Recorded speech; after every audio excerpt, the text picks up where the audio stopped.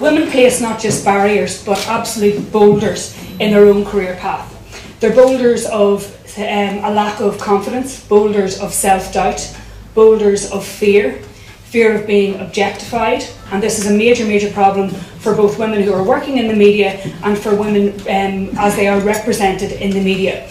And um, you know that fear of being objectified, the way in which we are treated, um, and the way in which we are talked about, um, uh, compared to men in our role as journalists and also writing in this area is huge. So if you are um, a regular person on TV, radio, or you're writing in the newspapers, your weight, your height, your hair colour, your nails are scrutinised to a degree that you would not imagine.